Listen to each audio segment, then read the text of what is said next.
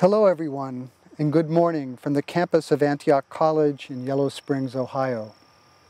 I'm Tom Manley, the college's president, and it is my privilege to welcome you to the ceremony for the graduates of the class of 2020. There are many, many people to acknowledge and thank this morning. Because we cannot clap our hands or snap our fingers in appreciation, please join me in placing a hand to the heart to show our gratitude throughout the ceremony. Special appreciation goes to the commencement committee members who have worked conscientiously and creatively to bring this ceremony and all of us together.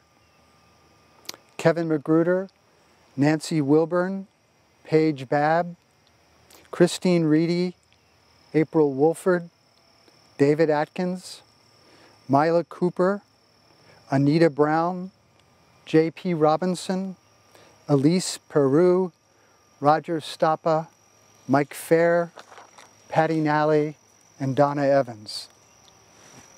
Thank you all.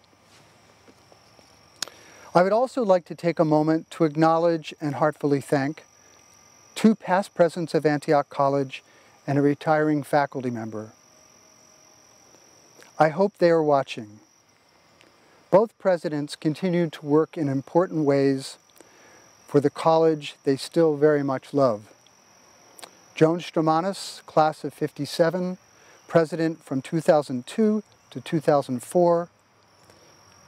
Joan recently suffered a severe broken leg, but she's tough, the old word for resilient, and is recovering quickly.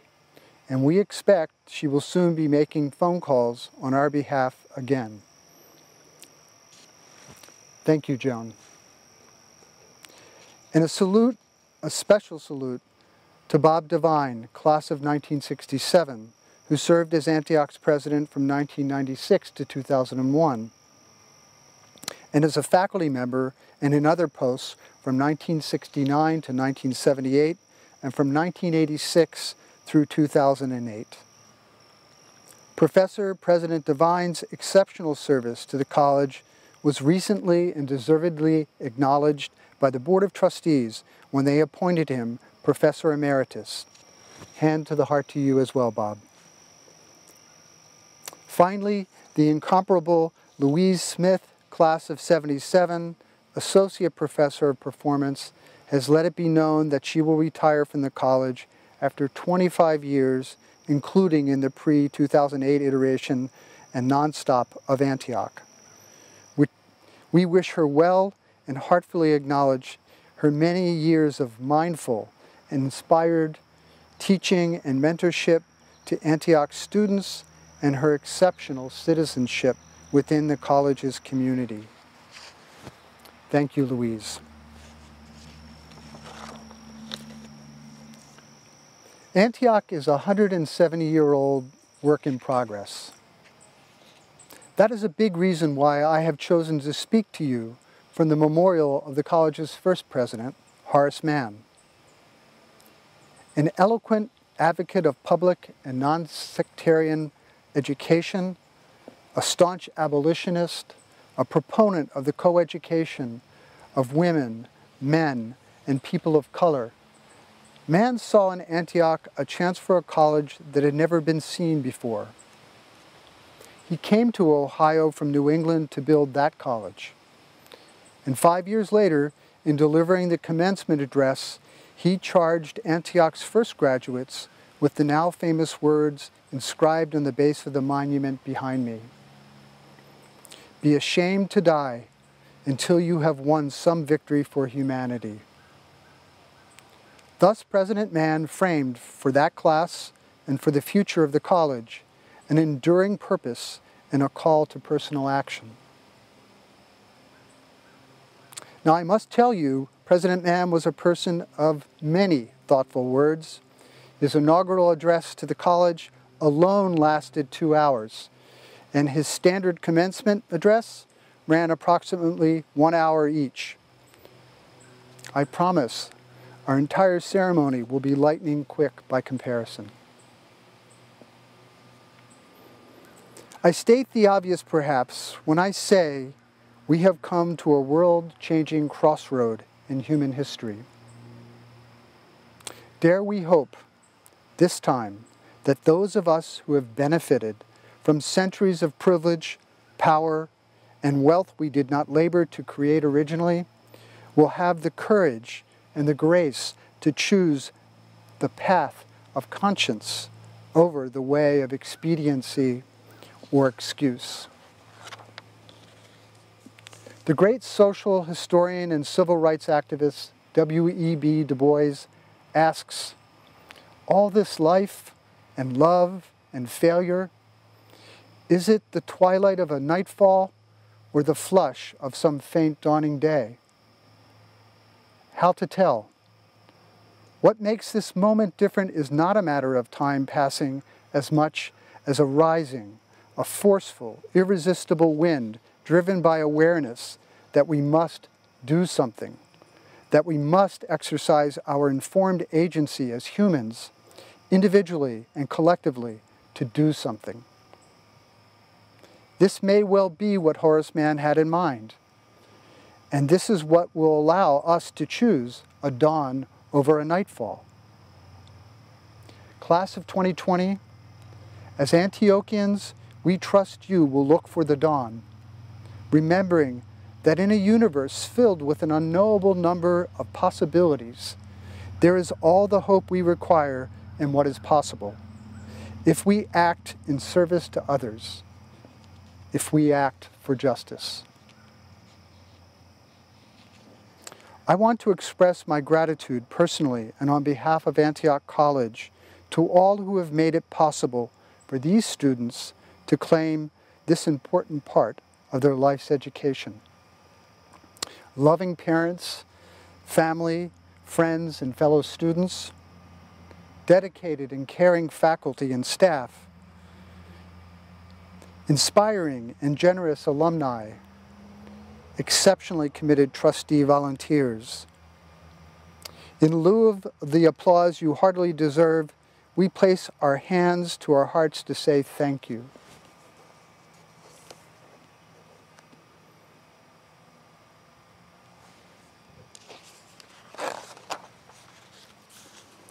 To the small but mighty class of 2020, I offer my, our profound appreciation and admiration that through your passions, intellects, and your hearts, this vital day has become possible. You have owned your educations, resumes of accomplishments, and soon you will own your college degrees. You have, you have shown extraordinary perseverance, creativity, and focus to arrive, to arrive at this moment. You have embodied resilience. You have demonstrated the capacity to endure bravely. And through you and your future gifts to the world, Antioch College will endure as well. We thank you. We stand for and with you.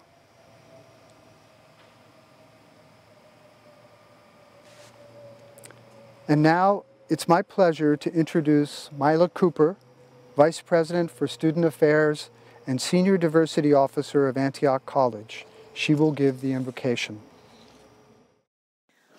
Once again, it is a great honor to participate in this special celebration. It comes with ease and joy to celebrate our amazing students, the sixth graduating class in the independent Antioch College. Yet at the same time, it is a most difficult space. Class of 2020, some call this the year of clear vision. And oh, what our eyes are watching. Class of 2020, you never imagined that you would finish your college career during a global pandemic, wearing masks to protect yourself and others from COVID 19. Class of 2020, you're also finishing your college career during another type of pandemic. Some refer to it as the black pandemic. It too is a virus, and no mask can protect us. In my own faith practice, an invocation is the act of invoking the presence of God for protection, blessing, and guidance. Antioch College embraces diversity and inclusion. We recognize and honor the different and various beliefs among us. So, as has been my tradition for, the, for now the third year, I offer a brief moment of reflection, still meant to invoke, to appeal, and to implore. First, I invite you to a moment of silence, perhaps in your own tradition prayer, meditation, contemplation, or simply silence.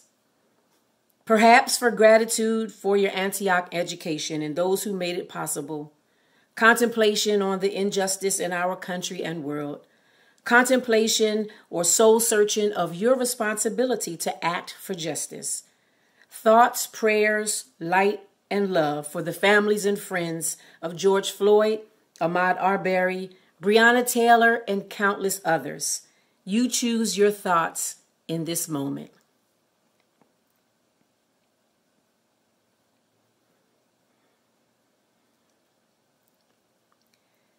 After the death of Ahmaud Arbery, NPR's Morning Edition asked for reactions in the shape of a poem.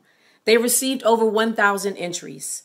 NPR's poet in residence, Kwame Alexander, took lines from some of the submissions to create a community poem for Ahmaud, Running for Your Life, he called it. Time will not permit me today to read the entire poem, so I took some excerpts, added a few of my own, and change the title to Run for Justice. What is the color of air? Who owns the right to breathe? I can't breathe. Is there justice for all in the land of the free? What is the vaccine for this pandemic? Another black body shot. My country, tis of thee. After the bullet leaves the chamber, sweet land of liberty, it cannot be recalled. Of thee I sing. Pain too hard to bear, fist pumping out the beat. Desmond Tutu said, if you are neutral in situations of injustice, you have chosen the side of the oppressor. Run for justice, class of 2020. We fight for humanity because broken hearts still beat, because justice peeks around the corner. Class of 2020, stand up, speak up, show up, run and run hard. Run for justice and don't stop. You were built for this, and I'm counting on you. Ashe. Now it is my pleasure to introduce Maureen Lynch, the chair of our Board of Trustees. Greetings and salutations to the class of 2020 from the Antioch College Board of Trustees. I'm Maureen Lynch, chair of the board. My graduation gift to you is a very short speech. First, congratulations to each of you and to your families. You don't need me to tell you that this is a year unlike any other in your lifetime or in mine. So, 2020, and it's only June.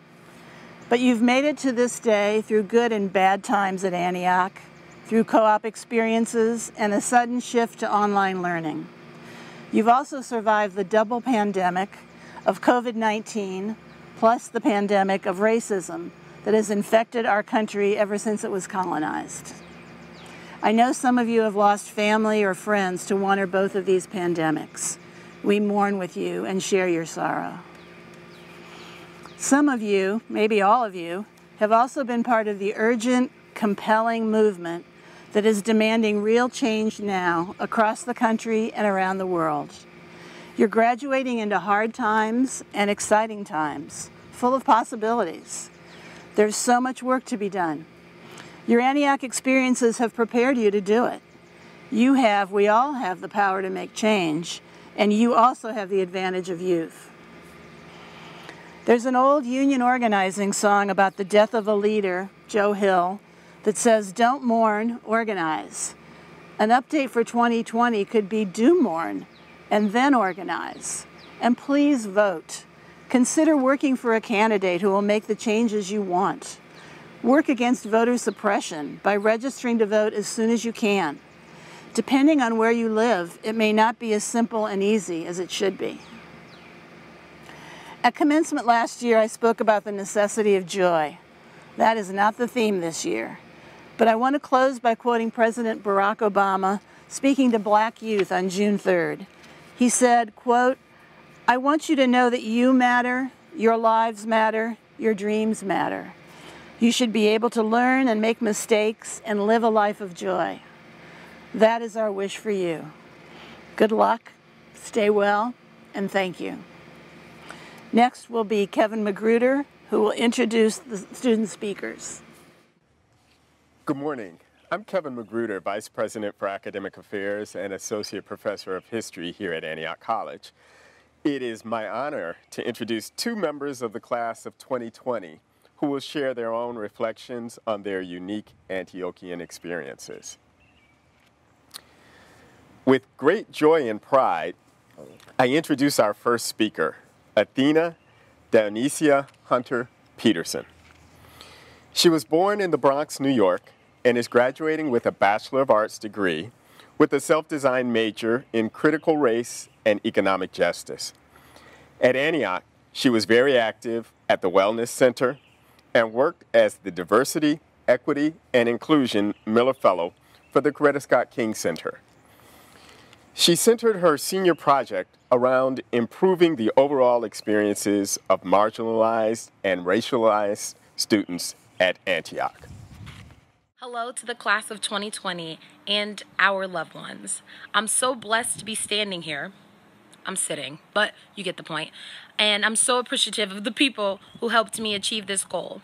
First, I want to thank God, my ancestors, the universe, my mother, my beautiful son slash emotional support animal, um, Minnie Cooper Downey Jr., aka Koopy, as you know, I'm on campus. My wonderful brother Dionysus Ray Hunter. I want to thank Donna and Register for always having a positive attitude and holding down Antioch. I want to thank Brian Cott for making me fall in love with nature. I still don't like roaches, but damn it, Brian, I'm from the Bronx. I want to thank my advisor and PICO professor, Sean Payne. He's an incredible asset to Antioch and someone that continuously helps make my dream of being here in front of you great people today come true.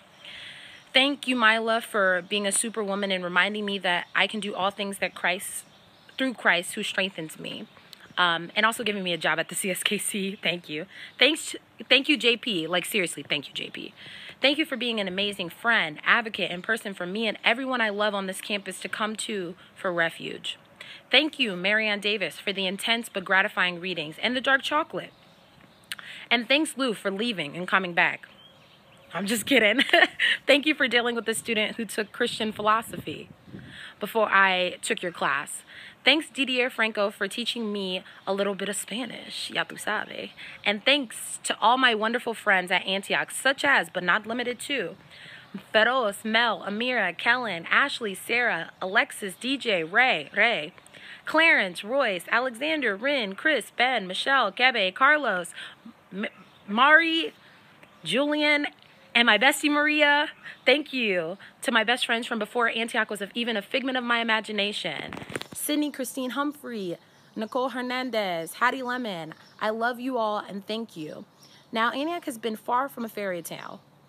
I have experienced so much pain, and at some points, this college has left me in despair, feeling broken, unappreciated, both hypervisual and incredibly neglected and devalued. Can't forget that one. There were times where I wanted to drop out, get hired and fired from Magic City for advocating for sex workers' rights, and work a miserable nine to five. However, there's an upside. I knew deep down inside my heart right next to my sassy artery. Now, I didn't take anatomy, but I know it's present in me. There was a fire and a drive to be someone who could help another little black girl with an absent dad and very little support. Give another little girl like that a real chance to prosper and thrive. And I don't mean that in a capitalistic way, Antioch. So don't come up don't come at my neck. I mean that in a realistic way, for being something and someone I could be proud of. Now, I'm not saying during graduate school I'm not going to drop it like it's hot because I would be straight lying. I practically hopped out the womb twerking and dancing, so that won't change no matter how much education and knowledge I receive. Now, I know a lot of you wanted to see me come up here and talk about how Antioch both mentally and physically screwed up my college experience and made me feel like less of a person Oh, and being performative at times where marginalized and racialized students were in need of aid. Antioch did that too.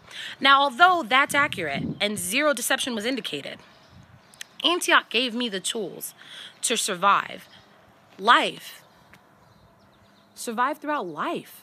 For a black woman like me, nothing in life has been handed to me by any institution, and it won't start now. I have had to work for everything I've wanted. And I know I'm capable of that, and I will be turned down by and for people who are less adequate than I am. But nevertheless, I will continue to fight. And I have always been a fighter, but Antioch helped me craft those skills and chalk it up to life experience. But through all of the dilemmas and the tragedies at this school and in my life, I have come and I have conquered Antioch. Thank you, Mom, for believing in me and always supporting your daughter even though you stay coming at my neck and nagging me, thank you. And this goes out to my little siblings, James Elijah, and to my little cousins, especially the older ones like Sophia, Mia, Elijah, Jose, Cedric, and family. Here, look, I did it. To everyone who said to me I would never accomplish anything in my life, look, I did it. And to all of my haters, kiss my ass, but also look up and see I did it and you can do it too. Congratulations to the class of 2020. Let's come and conquer the world now. Ciao. Our second speaker is Truth Garrett, who is graduating with a Bachelor of Arts degree with a self design major in hip hop education. He is a poet born in Indianapolis, Indiana. Before coming to Antioch, Truth was a sound engineer for the late Johnny Wilder Jr. He also served as the hip hop correspondent for the website Raw Roots. After Antioch, he plans to stimulate young minds with his hip hop education program. He will also continue an oral history project documenting the Afro American Studies Institute, founded in the 1960s at Antioch College. My words put into the air causes friction, irra, irritating the ears of those that listen because Many things are heard, but not all perceived. I was singled out most of the time in Antioch simply because of what I believe, such as my Antioch steps have order when seen from higher points. Through divine vision, me and Antioch College paths cross like light through a prism. 1999, Central State. I walked into my advisor's office demanding to be put into a plate. And it just so happened a small college around the way wanted to collaborate. I had to research this place. And what I found left me amazed. Coretta, Sterling, and Dr. Frances Cress Welsing were products of this place. Here's a thought. Even then, I knew there was no coincidence. My life was always a series of extraordinary events. I am living the alchemist. Twice a week, I came to Yellow Springs to rehearse a play written by Antiochian. A new world was open to me. I ain't gonna lie, some things blew my mind. Others were ahead of their time, like degrees that were self designed. Just like the alchemist, and thanks to the solar heat wave, Johnny Wilder, my dreams would lead me to travel from Ohio far and wide.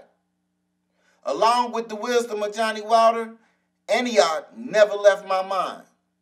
Like Malcolm Garvey Huey, Antioch's legacy spoke to me. But it seemed out of reach for an original man like me. Fast forward to the rebirth of truth. Around the time I discovered the ability to use hip hop to teach the youth, Antioch was looking for new rebels to rebuild a school. At first, I applied, they didn't see truth. But now I stand here before you on the shoulders of giants who came before. I stand here before you after sleeping in my car the last few months before I joined this school.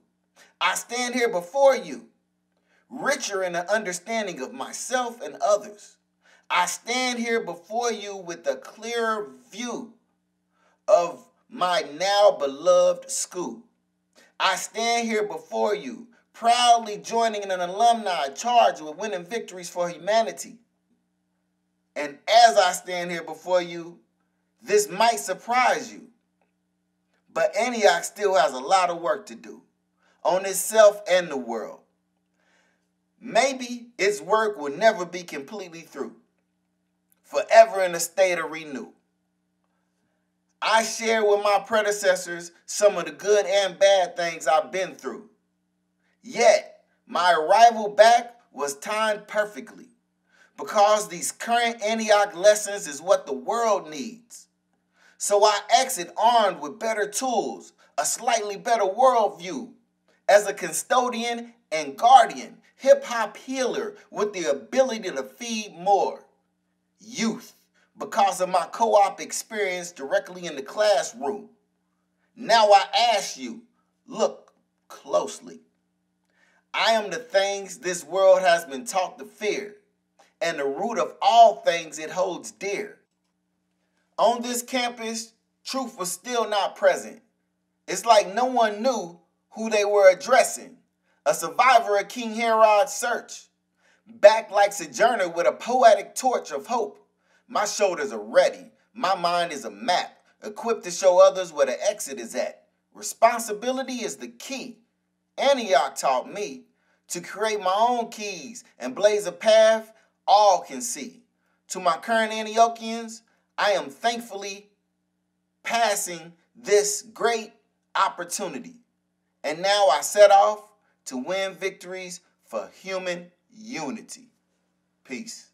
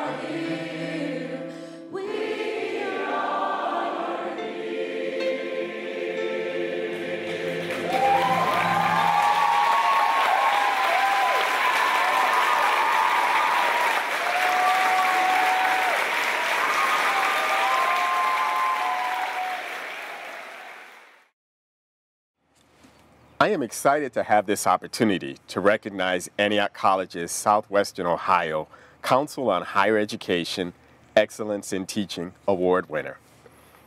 The winner was selected through a process of community nomination and peer review by a selection committee comprised of tenured and long-standing faculty colleagues at Antioch College. Luisa Bieri, Assistant Professor of Cooperative Education. Her nominees mentioned, we commend Luisa Bieri for five years of service to Antioch College. She has worked diligently at growing the Prison Justice Initiative, at linking service to curriculum through her new course, Antioch Community Action, and at revising the curriculum, especially in developing dialogue across difference and the transnational studies focus. In addition, Luisa's service centers partnerships with the broader Yellow Springs community. And in this way, she especially embodies the ethos of Antioch College.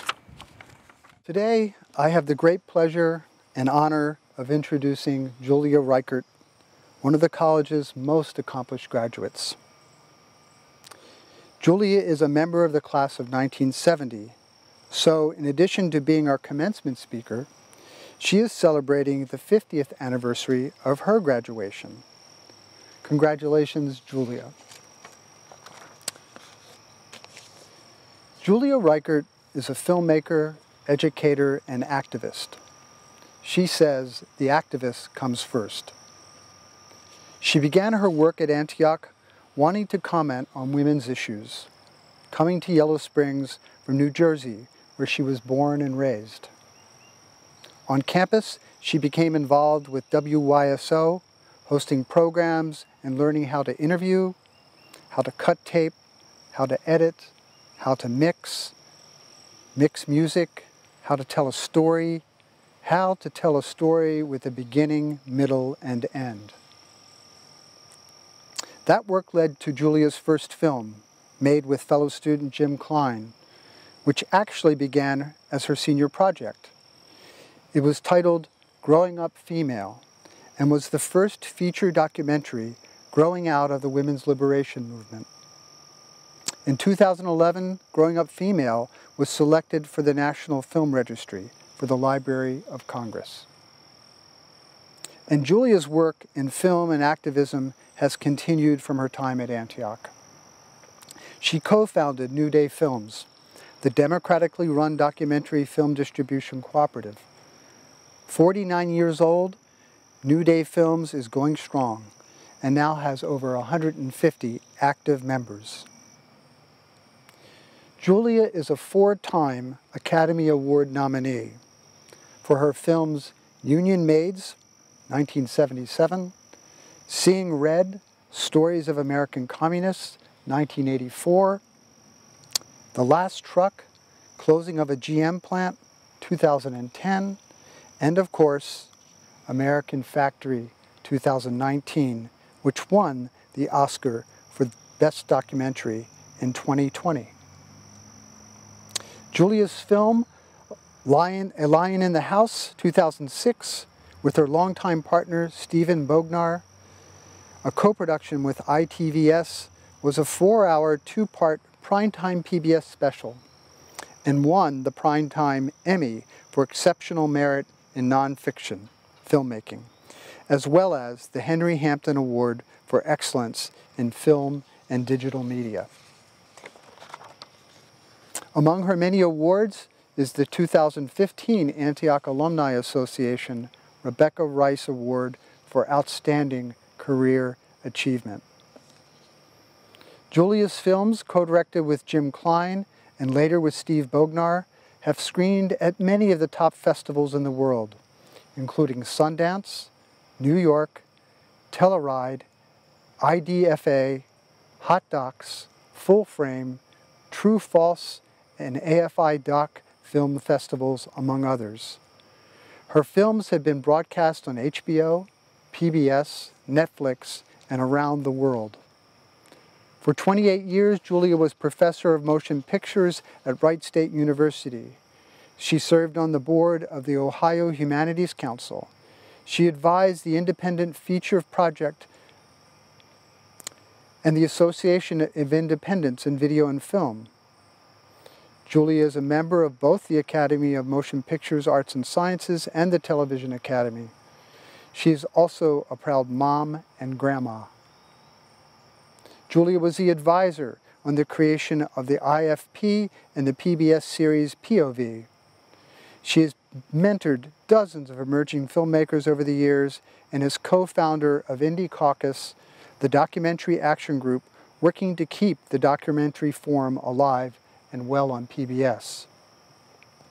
She is also the author of Doing It Yourself, the first book on self-distribution in independent film. In 2018, the International Documentary Association gave Julia their Career Achievement Award. In 2019, the Museum of Modern Art and the Wexner Center for the Arts teamed up to present a traveling retrospective of Julia's films. Julia was the first choice among the class of 2020 to be their commencement speaker. We applaud their intelligent taste and truly, truly thank Julia for her gracious acceptance of their invitation. My friends, Julia Reichert.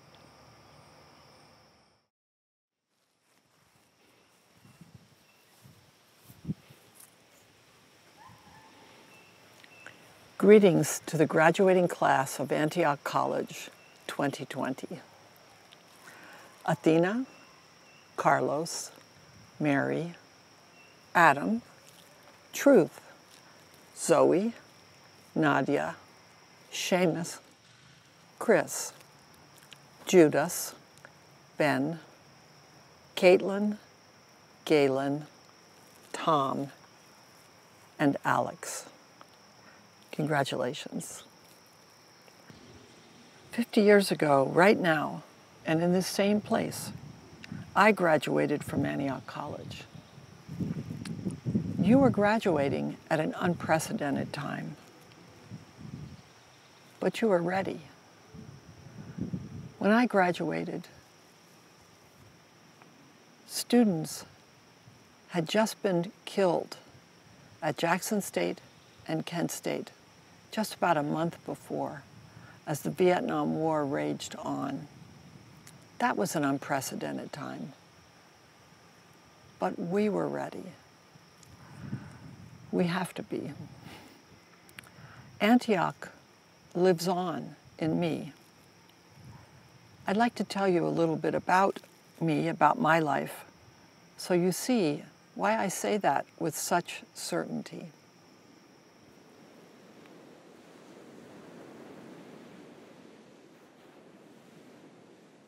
Did I ever wear shoes in the summer? Or a shirt, even? Here's me on a typical day at the Jersey Shore out on our dock. I was a ball of curiosity and energy who could lose herself in the bay. Boats, fishing, clamming, spearing, crabs, or in the ocean, on the ocean's edge, walking for miles down New Jersey beaches by myself. We spent all summer on the Jersey Shore, living in a trailer, my brothers and I and my parents. I loved nature. I hated dresses. I was a tomboy, a geeky, bespectacled girl. My mom worked the 3 to 11 shift at a hospital. Dad was a butcher, never finished eighth grade. He brought his pay home in cash in a little manila envelope in a shirt pocket every Friday. There were no books or pictures in my house, or anyone's house I knew. But we had a secure life because he was a Union man. And he was a Republican. We owned our home, our cars, we had vacations. I was a good student. I loved to write. It was the Cold War.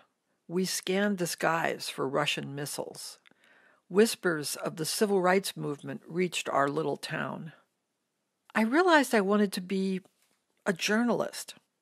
I always thought if we could just understand each other, there would be no wars, no conflict. Yet in the real world, then, the options for girls' futures were teacher, secretary, or nurse. Then marriage. Here's a picture from my life now, at 74 my two grandkids in the glen, the stepping stones across the stream. I've been thinking about my stepping stones of life. How did I get to where I am from where I was? How did that happen? Often we don't realize that a decision, a choice on a day, is a stepping stone. Other days, like today, you know well, my dad got me a camera, a 35 millimeter rangefinder Argus, when I was about 13. I really wanted to learn how to use it, so I found some old books about photography at the library. I learned about f stops, depth of field, focus, framing. I mailed my rolls of film away and got prints back in the mail. Life magazine came to our doctor's office, and I loved the photographs. I wanted so much to get out of my small town on my own. The idea of going to college caught hold of me. even though no one in my family or in my neighborhood had ever gone to college. In our library at the high school, there was a book called Lovejoy's Guide to Colleges. It gave you a description of each college, the cost, and their address. So I started sending postcards asking for catalogs. I started with the A's. I rode away to Adelphi, Albion, and found Antioch. But actually, I wrote all the way through Bates, Cornell, Swarthmore, all the way through the alphabet. I had stacks of catalogs, several feet high, in my bedroom, and read them late into the night. I picked Antioch College because it was the furthest away in Ohio, 600 miles. I paid my own way. Antioch, you could work half the year, travel abroad, not have to go home all summer. I'd worked since I was 15, so that appealed to me.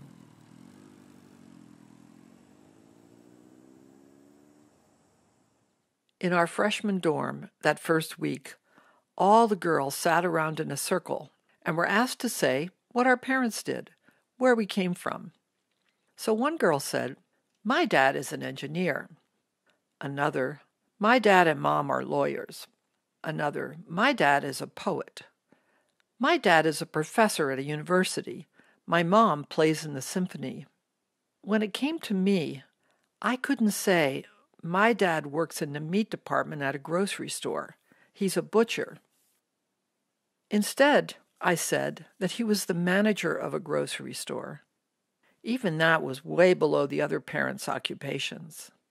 Right away, I started developing a story of who I am, a false story based on shame.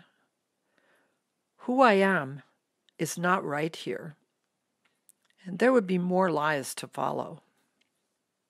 After a while, I went into college friends' homes that were much bigger, much somehow more sophisticated, with books, photos, paintings. There were actual discussions around the dinner table with glasses of wine. In my house growing up, dinner was five minutes. We never talked around the dinner table. At college, I did find others who loved photography, and I learned to develop pictures. We created the first darkroom at Antioch, where I spent hundreds of happy hours. We learned about photographers of the day Robert Capa, Dorothea Lange, Robert Frank, Henri Cartier Bresson, Bruce Davidson. Beautiful works of art, but capturing everyday people.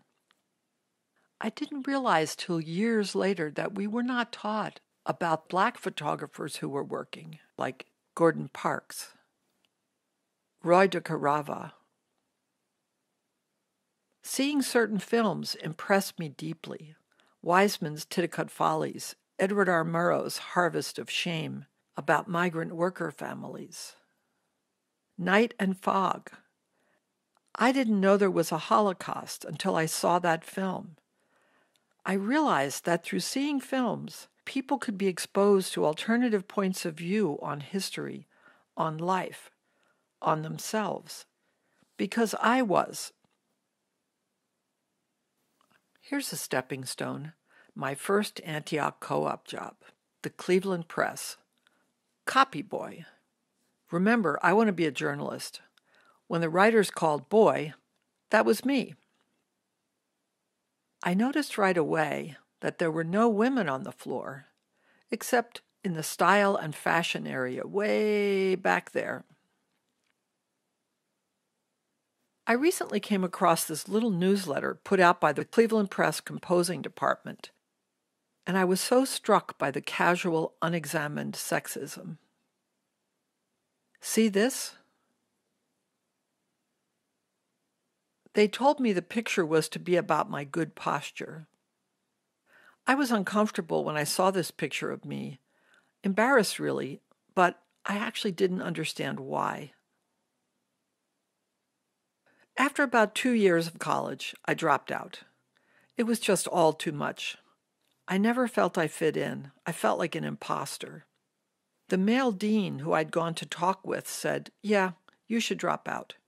You should go to a state school. Keep your grades up for now. Looking back, I realize I began to understand how hard it is to change one's class background, to move up and be comfortable.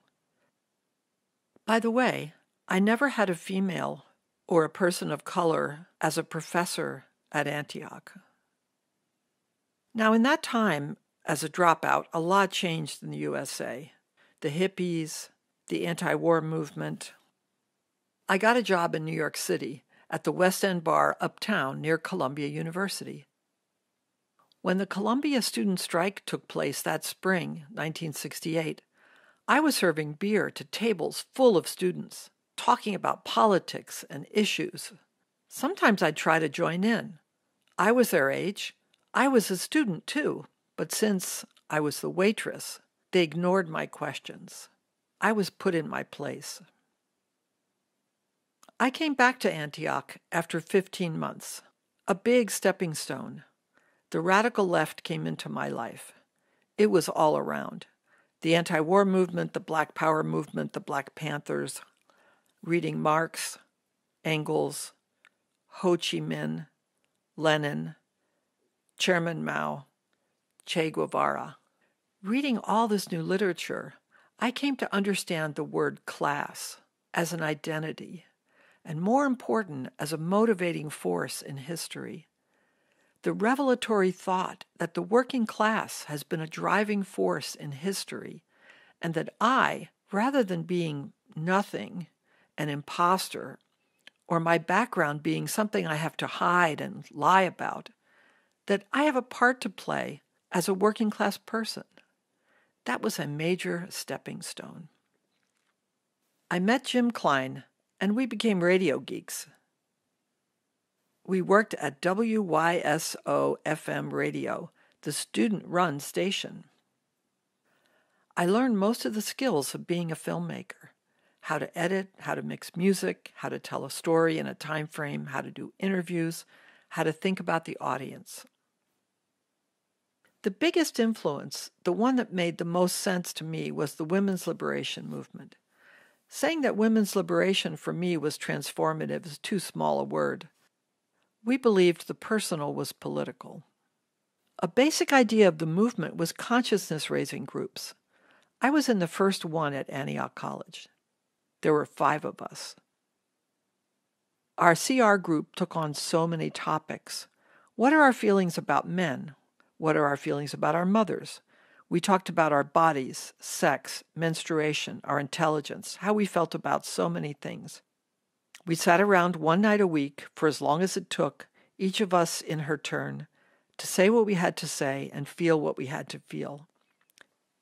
Every night, it turned out that what we thought was our own personal shame was really the oppression of a group, a huge group, women. I came to understand self censorship self hatred.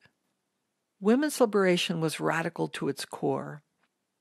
It went to the idea of how people think about themselves and others and all the structures of our society. Women's liberation demanded change in the bedroom, the kitchen, the office. We looked at popular culture's images of women and saw that all the images, movies, magazines, TV, were made by men white men, privileged men.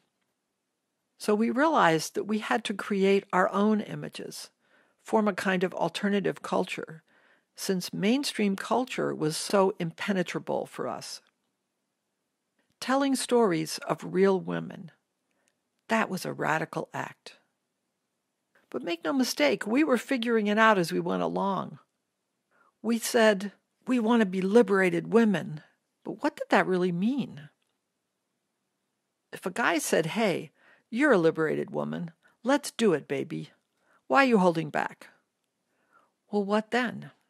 Was that what it meant to be liberated? January 1st, 1970. I had an idea for my senior project at Antioch. Why not make a film? A real film with sync sound. Film combined radio and photography and a film could reach more people than either.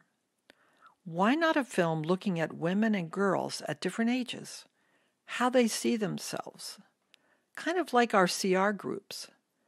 That became Growing Up Female, a film that explores the lives of six girls and women, ages 4 through 34.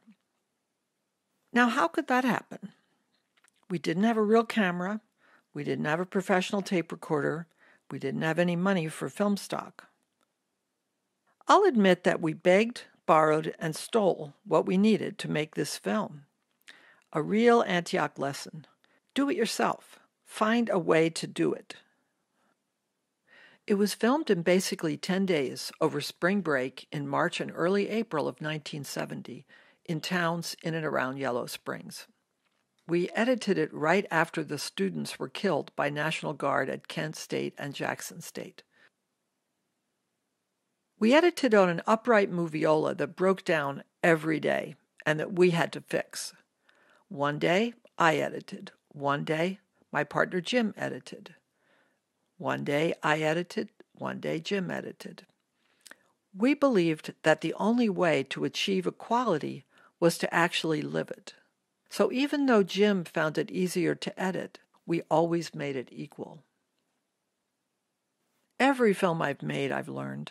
But what I learned from growing up female was probably the most valuable and motivating lesson of my entire life, which is to use your work to try to change the world. I guess it was Horace Mann looking down on me, asking me about what victories I was going to win. I did everything I could to help the women's movement grow, to help the ideas I had found so very powerful spread to others. But how could we find distribution for the film? How could we get it out? Well, I will mention an important lunch, a stepping stone. A very good distribution company was interested in growing up female.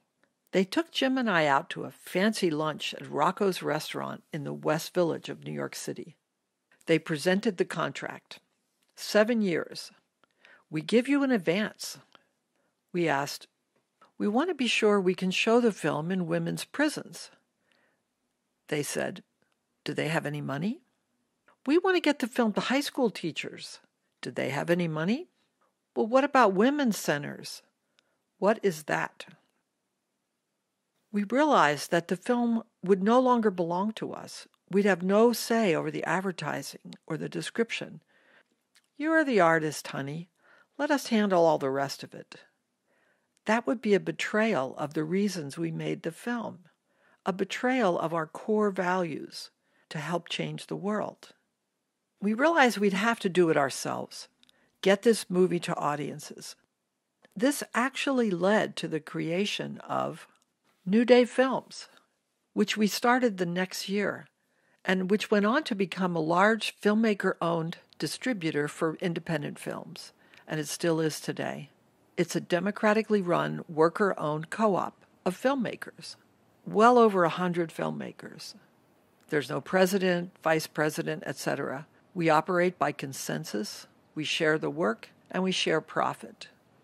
We make sure that our films can be used by those who need them. Does that sound familiar? So, this particular lunch in the West Village was an axial moment in my life. When Growing Up Female was done, I carried one 16 millimeter print around on a Greyhound bus to find its audience. I went to Cleveland, Ohio. I'd called a handful of friends who were in the women's movement, who agreed to set up a projector and a screen and a sound system and invite a few other women's movement people to come together in a living room to watch the film. And after they would say, We have to show this film to others. And they would set up a second screening in a church basement, in a high school classroom, and more people would see it. Each time I got everybody's name and address and I wrote it down. I would then ask him, Do you know anybody in Athens, Ohio, or Washington, D.C.? And sometimes they did. So I took a Greyhound bus to Athens, Ohio. I went to Washington, D.C. I went to Pittsburgh, New York, Boston. And I would do the same thing have a screening, collect names, type them up. Discussions were intense after, as the audiences got bigger. There would be fights, threats, walkouts by all the women. It wasn't long before Jim and I learned how to design and print this poster on the Antioch offset press. We mailed it out to all those people, and orders started pouring in from all over the country. I learned that films can help change the world. Jim and I learned to do things ourselves. We can all do everything. We can all do anything. Here, we learn our core values. We strive for democracy. We build community. And this is Antioch, living in us. Antioch prepared me much more than I realized to enter and impact the world. Graduates, you are entering the world at a very hard time. It is an exceptionally challenging time, but it is your time. It's so easy to feel small, right? Insignificant. But the past weeks have shown us that you and your generation can lead the way beautifully. In ending today, I'm going to leave you with a poem that has guided my life. It's called To Be of Use by Marge Piercy. And I hope it resonates for you. To be of use. The people I love the best jump into work headfirst without dallying in the shallows, and swim off with sure strokes almost out of sight. They seem to become natives of that element, with the black-headed seals bouncing like half-submerged balls. I love people who harness themselves, an ox to a heavy cart, who pull like water buffalo with massive patience, who strain in the mud and the muck to move things forward, who do what has to be done again and again. I want to be with people who submerge in the task, who go into the fields to harvest and work in a row and pass the bags along, who are not parlor generals or field deserters, but move in a common rhythm when the food must come in or the fire be put out. The work of the world is as common as mud. Botched, it smears the hands, crumbles to dust. But the thing worth doing, well done, has a shape that satisfies, clean and evident. Greek amphoras for wine or oil, Hopi vases that held corn. They're put in museums. But you know they were made to be used. The pitcher cries for water to carry and a person for work that is real. Congratulations.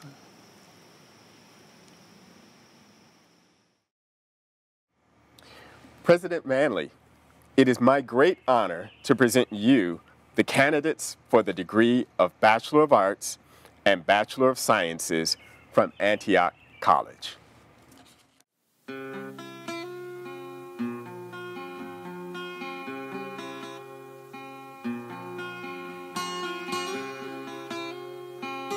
Adam Matthew Green, magna cum laude.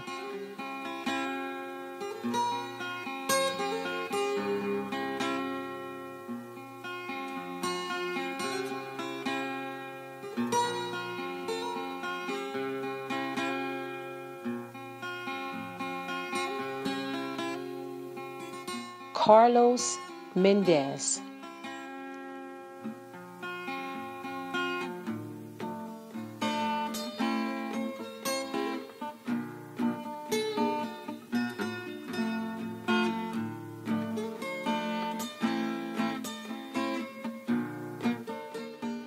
Seamus O'Flaherty.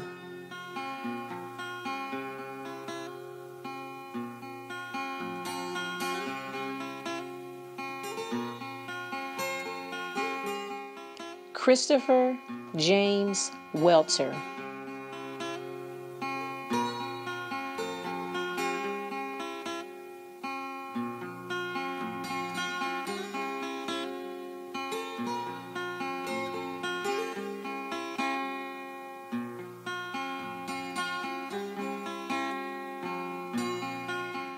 Thomas Nolan Amrine, cum laude.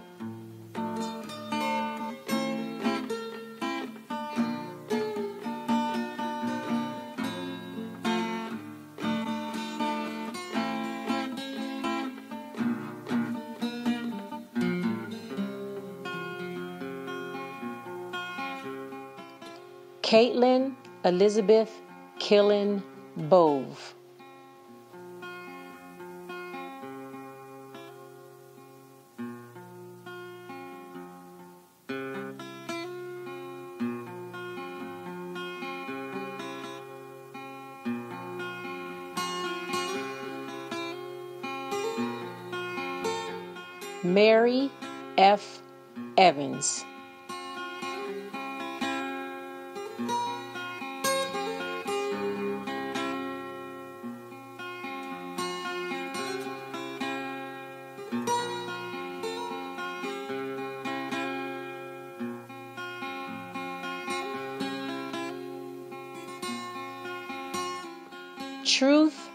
Garrett.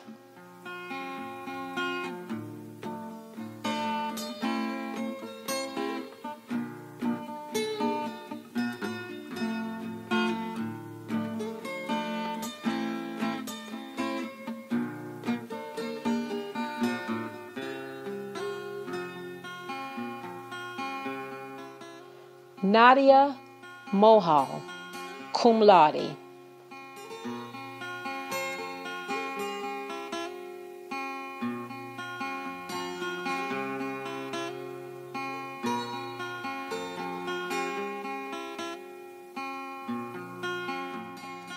Athena Dionysia Hunter Peterson.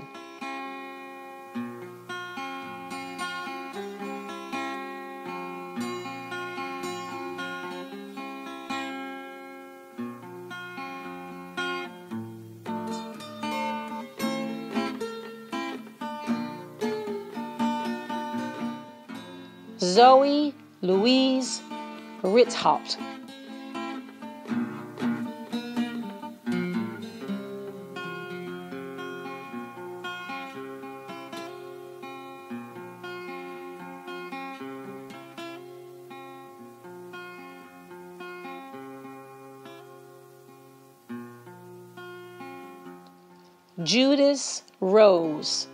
Cum laude.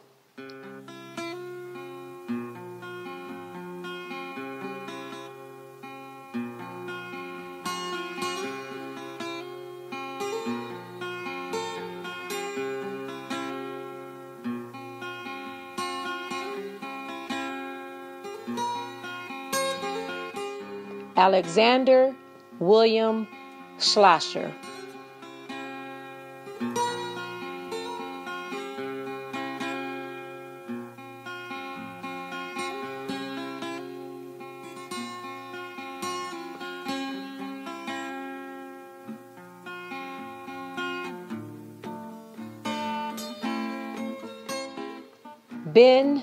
Alec Zeitzman.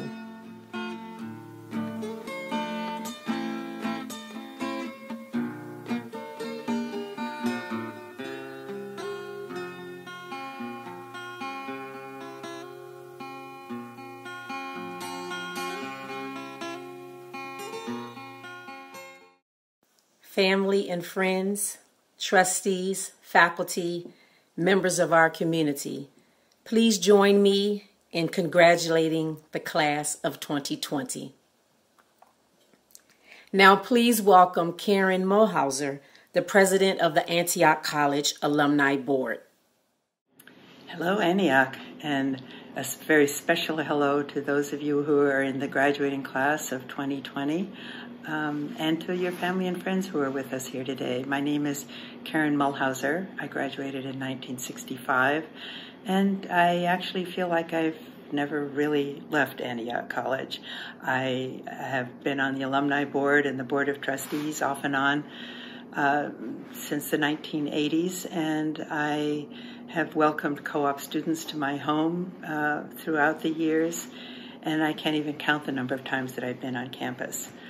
But by far, the most important and valuable to me thing that I can do as Antioch College uh, alumni president is to welcome the graduating class and the new alumni to the Alumni Association. So, welcome.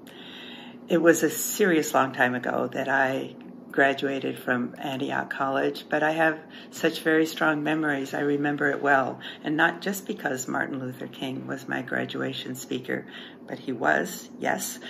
And, um, but it's also because I had that feeling of, uh, thank goodness I'm out of here, combined and competing with the feeling of, uh, this is not like coming, leaving for co-op and coming back again. This, this is an end but it's also a beginning of a new chapter and a commencement. So, welcome to the next chapter of your life. I'm here to assure you, as the newest members of the Alumni Association, that you can always come back. Um, I know how hard it must be to not be able to be with each other in person today, um, but you can start thinking about maybe coming back here for your first reunion in the fall of 2021 and while uh, you'll still have to ask permission if you can hug each other because some things will never change. Um, it will. I think you'll find it rewarding to be able to be with each other uh, a year plus after you graduated. And so, if you're thinking about coming to your reunion and want some ideas, don't hesitate to reach out to me. In the years uh, since Antioch College reopened, I have had uh, future alums, students living with me while they're in DC area for co-op jobs. And I've learned a great deal from them. I know that the current alumni board will learn a great deal from you, and I hope you'll let us know how you think that the alumni board and the board of trustees can help the students who are following behind you.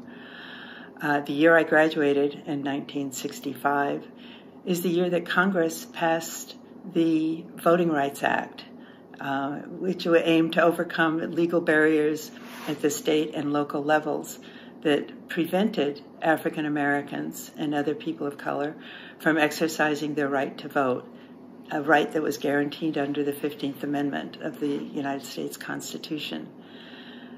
That was a time when many of us thought that one of the final injustices had been addressed but now, 55 years later, we see how naive we were, and we see that there is still so much work that needs to be done to improve the criminal justice system. But I am hopeful in a way that I haven't been before because I see at the uh, in, in the civil justice system and in the uh, work by citizens around the country that change will happen.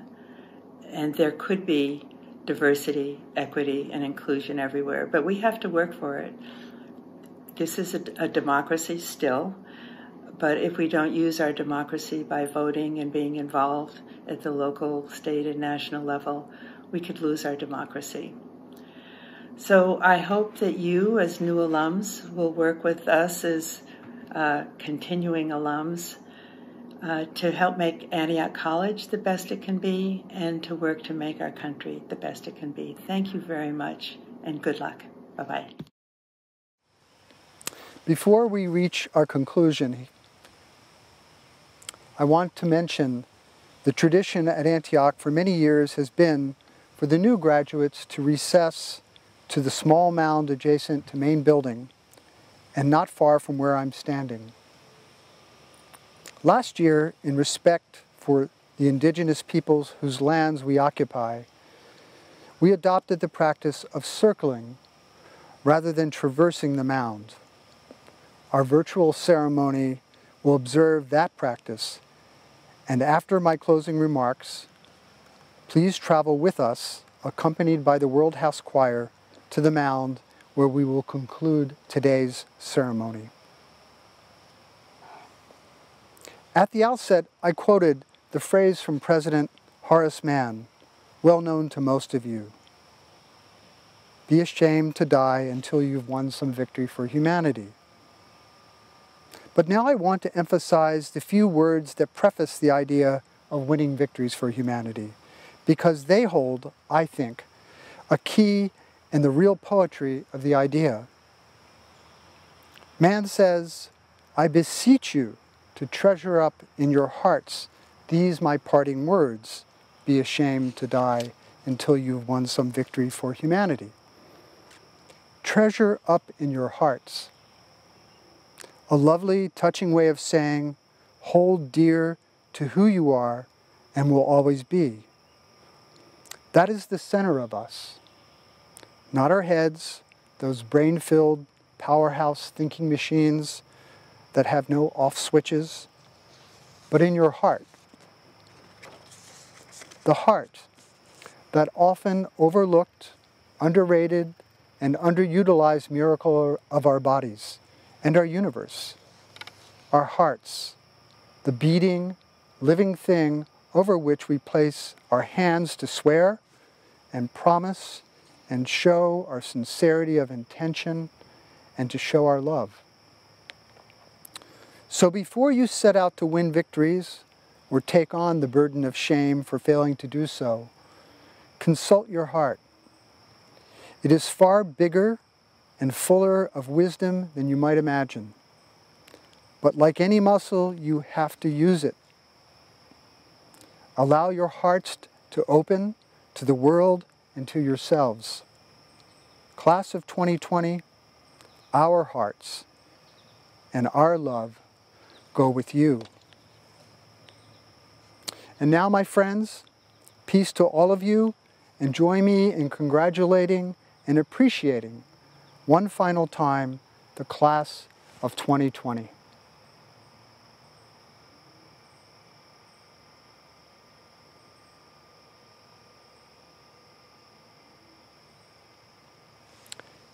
And now for the recessional and the remarkable World House Choir led by Dr. Kathy Roma.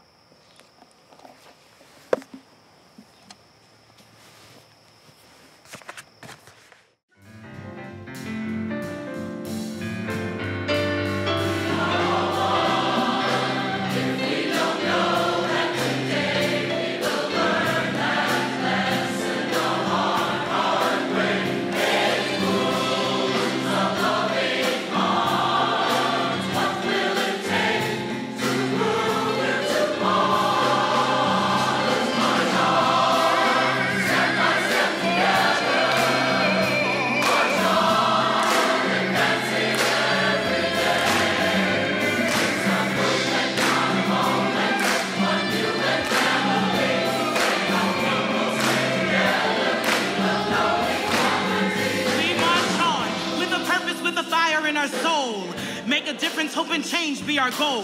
Love and peace and justice and truth. Marching with families, with our elders, with our youth. Building a beloved community. Diversity is strength. There is power in our unity. Color, gender, ethnicity. We respect them all with sanity. A part of our humanity. Sisterhood, brotherhood, personhood. Marching our feet up the street through the neighborhood. Marching in step, showing support for the common good. Come, feel our vitality. Come be a witness. Joining our universality. Make your mission the human condition you see. When our people stand together, we will know equality.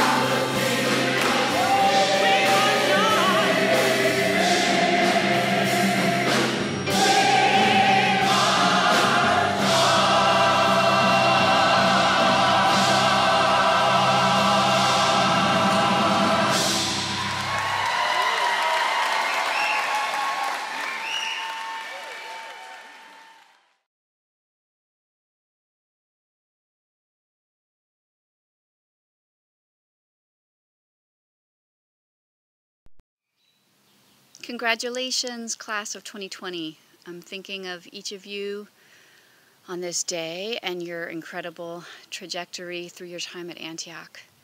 You will be missed.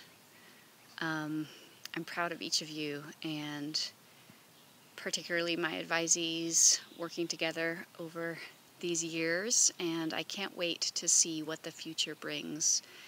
Remember that we are here for you now and into the future. And again, congratulations. Antioch Class of 2020. I want to share with you two lessons that I've learned growing up in Pan African revolutionary organizations and in the Black church. You were born for times such as these, and you stand on the shoulders of those who have gone before you. Know that you are magnificently and gloriously made. And as you walk through the world, know that you walk with a purpose to make this world more beautiful than it is today. Congratulations. Yo, class of 2020, you went through some of the toughest shit that Antioch has to offer, and you still made it through. Nicely done. That's excellent. Um, yeah, sorry there's the pandemic, but still, nice job graduating. You did good. When you were born, you cried, and the world rejoiced. Live your life so that when you die, the world cries and you rejoice. Congratulations, class of 2020. Go out and do great things. May you live lives committed to justice. May you find resilience so you can stay in the struggle for the long haul. And may love and joy be the foundation of all your work and your being. P.S. You never need to be ashamed. Hi, this is Donna from the Registrar's Office. Congratulations, Class of 2020. You have succeeded to complete your classes, co-ops, language requirement, and senior projects, all while studying remotely in online classes this spring, while not one pandemic was taking place but two. I can safely say Antioch College has prepared you to survive, and you did it. You have succeeded mostly because of you, your hard work and grit. Go out into the world and make it better. And as Horace Mann says, win some victories for humanity. Take care. I'll miss you. And if you need a transcript, you'll know where to find me.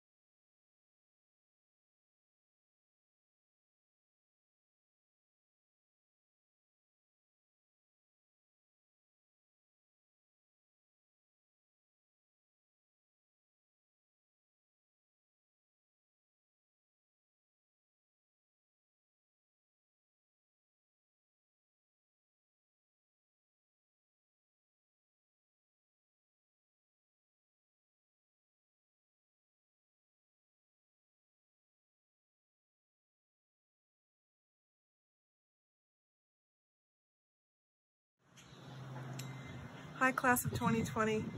I just have something I'd love to read to you. Um, Angela Davis said that optimism is a political act, and I think that that's really so true in these times and for you all right now.